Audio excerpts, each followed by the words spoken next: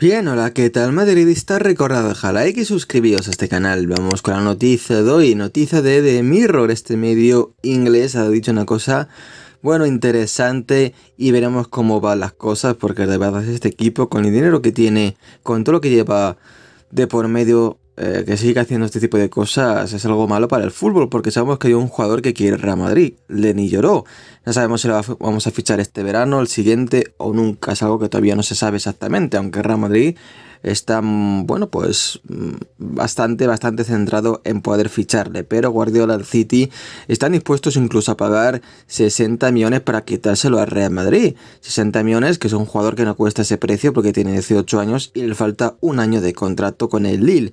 Y el Real Madrid eh, no sé cuánto quiere pagar, 40 a lo mejor, no sé si quiere llegar a los 50, pero ni de cerca a los 60, porque no vale la pena eh, para un jugador repito, 18 años con un año de contrato. Pero el City, bueno, tiene sus reglas puede gastar el dinero que quiera, el dinero infinito y da igual, ¿no? Entonces este tipo de cosas complican mucho las, las operaciones. Al final el Lille va a preferir al City porque le paga más, básicamente. Pero claro, no va a querer ir, al City, son un equipo, pero allí eh, veremos cómo pueden gestionar su carrera, cosa que en Real Madrid también habría que ver, pero oye, últimamente en ese sentido creo que lo estamos haciendo bastante bien. Así que bueno, veremos cómo van las cosas.